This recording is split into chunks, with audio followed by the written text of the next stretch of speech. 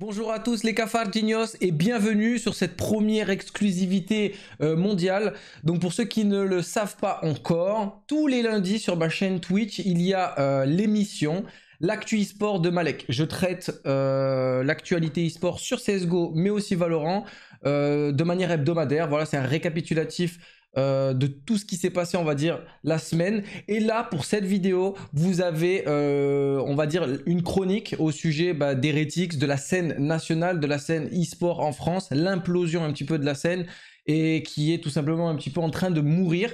Donc vous avez ce meilleur moment et vous aurez bien évidemment sur la chaîne la rediffusion complète de l'émission avec d'autres chroniques, d'autres sujets qui seront traités. Mais là, vous avez euh, un petit best-of, le moment d'une chronique qui, je pense, va plaire à euh, la majorité d'entre nous qui sommes passionnés un petit peu de la scène CS et qui voyons cette scène un petit peu s'autodétruire depuis pas mal de temps. Et je vous explique un petit peu pourquoi dans cette vidéo. N'hésitez surtout pas à vous manifester dans les commentaires pour me dire si vous appréciez ou pas ce travail, ce concept et ce genre de choses. Donnez euh, bien évidemment des conseils si vous voulez euh, qu'on s'améliore. Voilà, si vous avez des tips, des astuces, des, des, des petites idées qui peuvent nous aider, on les prend avec grand plaisir. Et abonnez-vous pour avoir bien évidemment euh, la suite de cette émission, d'autres chroniques, etc. Mais vous inquiétez pas, il y aura des tutos, il y aura un maximum de choses. Bisous à tous. Ok, on va parler d'Heretics maintenant. Heretics, donc là c'est dramatique. J'atteins, euh, j'atteins, j'atteins ce sujet euh, qui, me, qui me tient à cœur et franchement c'est totalement dramatique.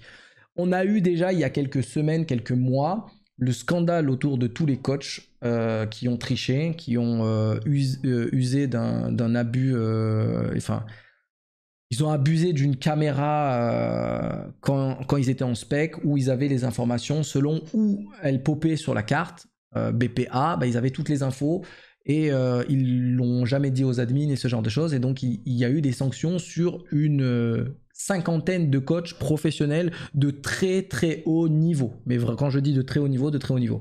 D'ailleurs, dites-moi si ça vous intéresse que je fasse une vidéo dédiée à ça, parce que euh, c'est de la tricherie pure et dure. Et pour moi, euh, il y a eu euh, des éléments qui, qui ont mal été traités pour éviter un, scandale encore plus grand. C'est que pour moi, les joueurs étaient à 300 millions de pourcents aware ils étaient sûrs à 100%, ils étaient entièrement euh, dans la confidence que leur coach avait des infos. C'est obligé. Euh, il y a des clips euh, d'action, de call qui changent toutes les deux secondes et on voit la caméra du coach qui a les infos et on voit des équipes passer d'un point A à un point B. Donc clairement, c'est full chicha, full triche. Donc voilà. Donc Biggie par exemple qui a été kické, qui a été remercié gentiment. Euh, ça a mis un coup au moral selon les, selon les statements des joueurs français, donc XMS, Maca et ce genre de choses, euh, qui ont dit que bah, le coup, euh, ça a été un coup dur pour eux de perdre Biggie parce qu'ils avaient une très bonne relation avec lui humaine, qu'il les avait beaucoup aidés à s'améliorer individuellement. et puis aussi, quand tu passes des mois avec quelqu'un sur des TeamSpeak 6 heures par jour, etc., etc., tu noues des liens. Donc tu peux être un connard et tricher. Euh, au final, l'amitié restera toujours là. Euh, donc très certainement aussi que quand ces mecs-là euh, switcheront sur Valorant, parce que là-bas ils sont pas ban, ils referont des équipes et ils resteront dans, le, dans, les, top, dans les top teams à vie, parce que, que l'amitié, le pouvoir de l'amitié, de l'amour, ça, ça, ça sert toujours en fait. donc, parlons d'XMS. Il a fait un tweet longueur il y a quelques jours où il annonçait qu'il quittait l'équipe d'Heretics. Euh, parce que euh, il voulait prendre du recul, il voulait penser à sa santé, etc., euh, etc. Bon, je pense qu'il est saoulé. Je pense que cette équipe est en train d'imploser depuis pas mal de temps déjà. pour ceux qui se souviennent de l'arrivée de Kyoshima, et j'avais fait une vidéo sur ma chaîne YouTube où je disais euh, Kyoshima détruit la scène quand ils avaient kické Jinx, Logan, etc. Ils faisaient venir Kyo, ils faisaient, ils faisaient venir Lucky, etc. Puis après ils ont fait venir Piggy, machin, ceci, cela. Euh, donc tous ceux qui se souviennent de cette vidéo euh, où je me suis fait insulter de tous les noms parce que je m'en prenais à des joueurs, ben, on voit aujourd'hui le, résultat des, Heretics. Quelques mois après, ça implose totalement.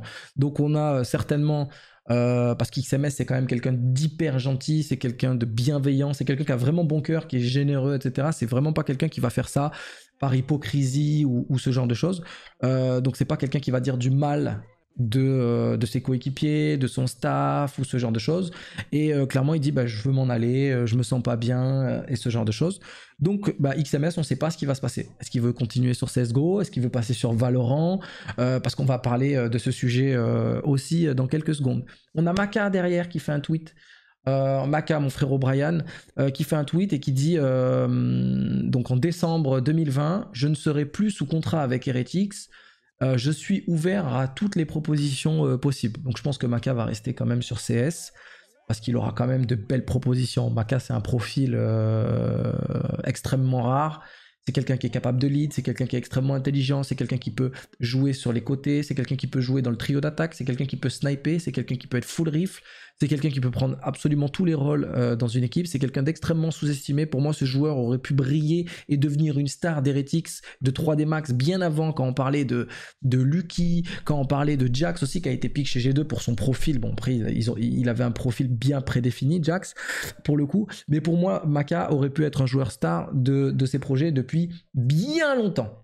C'est juste que ce mec-là s'est toujours mis au service de l'équipe, s'est toujours mis en retrait, a toujours voulu faire briller les autres, a toujours pris. Euh, bah, quand Lucky voulait sniper, il a dit pas grave, je te laisse sniper. Quand euh, fallait passer devant, bah, fallait passer devant, c'est lui qui passait devant, ou ce genre de choses. Ça, je le sais de sources, on va dire euh, privées, personnelles, ce que vous voulez. Mais aussi, je le sais parce que quand on voit les matchs, on voit tout simplement que le mec. quand même, il a des rôles un peu difficiles. Et pour moi, Maka a de l'avenir de ouf sur le jeu. Derrière, derrière, derrière, derrière, on parle de Kyoshima qui lui aussi fait un tweet et annonce euh, c'est bientôt la retraite pour moi, j'en ai marre, je sais plus ce que je veux faire, euh, je suis une merde, enfin je sais plus ce qu'il avait dit, mais en tout cas il s'est dénigré énormément, il a dit euh, j'arrive à rien, je tire plus droit, j'ai essayé, je tryhard, mais bon, j'ai plus le goût, j'ai plus, plus le sourire au jeu. En gros, c'était ça. Euh, et je comprends, je comprends. Kyoshima, il faut savoir que c'était un pilier de la scène française. Euh, pour ceux qui se souviennent de l'époque LDLC, donc LDLC 2014, pardon, LDLC 2014, Kyoshima était un joueur clé de cette équipe. Euh, c'était un pépite man de ouf, c'était quelqu'un qui distribuait des headshots, c'était un fixe BP, c'était quelqu'un qui, qui était vraiment solide et qui avait un profil hyper, hyper skillé, hyper spectaculaire ce joueur a totalement changé de rôle avec Envy, etc., etc., pour sauver son cul. Euh, on va dire les choses concrètement. Quand après ils sont passés chez Envy, machin, on parle de 2015, les gars, c'était il y a 5 ans. Euh, bientôt 6 euh, si on pense qu'on va aller sur l'année 2021. Faut savoir que Kushima, pareil, s'est sacrifié pas mal de fois. Bon, c'était pour sauver son cul parce que quand tu fais des réunions entre des joueurs et que tu dis, ok, il nous faut tel rôle, euh, bah tu passes, Shox passera devant toi tout le temps. À cette époque-là, Shox passait devant, Kenny passait devant, euh, NBK passait devant aussi. Tu pouvais pas passer, c'était les trois piliers de l'équipe Envy. Donc, tu recrutes un joueur et le quatrième, dit, bah, bah, c'est pas grave, je vous supporte. Voilà, je, vais sur le BP avec NBK, je te supporte, t'inquiète pas. Et au final, bah, il a perdu tout son, toute son identité, tout son potentiel, selon moi, vraiment. Il, s'est détruit. En, faisant ça, en fait, en se, en se sous-évaluant, en se, en se mettant en retrait, euh, moi, c'est l'expérience qui m'a fait comprendre ça. Bah, on en parlait de Maka juste avant. Bah, là, on parle de Kyo aussi. Pour moi, ce joueur s'est détruit, euh, détruit tout seul parce que euh, il a fait des choix à des moments où il s'est dit putain, là, si je perds une vie, mais je vais aller chez qui? Donc vaut mieux que je sois dans un rôle qui me plaît pas et ceci et cela chez Envy plutôt que d'aller dans un rôle star ailleurs. Et clairement, aujourd'hui, on sait tous que ça marche pas. Il faut euh, exploiter 100% du potentiel de chaque joueur. il ne faut pas construire des équipes d'amitié ou, ou euh, juste euh, ok bon vas-y allez toi tu as un nom, toi tu as un peu d'expérience, allez on prend. Ça c'est fini maintenant en 2020, on le voit avec G2 qui change des joueurs, avec avec avec Vitality qui a changé de joueur, c'est fini. Ils recyclent plus les Smiths, les machins, c'est fini. On ne veut plus des joueurs qui sont ok bon bah vas-y t'as un peu dit non c'est mort on veut prendre 100% d'un potentiel d'un mec et l'exploiter et le guider, l'encadrer, ce genre de choses. Et pour moi, il s'est détruit de ouf euh, qui en faisant ça et clairement, il est plus, il est, mal dans sa peau euh, et, ce genre de choses. Euh, enfin, quand je lis son tweet, en tout cas, moi, c'est ce que je ressens. passer d'un champion de major deux fois et franchement, je me souviens de ouf que c'était un joueur spectaculaire. Pour ceux qui se souviennent de lui quand il était chez Epsilon chez LDLC et au début d'Envy, euh, Kyo c'était une machine à headshot, mais de ouf. Et clairement après, euh, il, a switché. Donc on voit totalement cette équipe disband. Voilà, c'est split, hein, on va pas se mytho, euh, rien n'est officiel, mais c'est split. Ça, dans deux mois, c'est poubelle, tout le monde à la maison, chacun va prendre des, opportunités à droite, à gauche. Et merci, au revoir. Kyoshima, je ne sais pas ce que ça va devenir.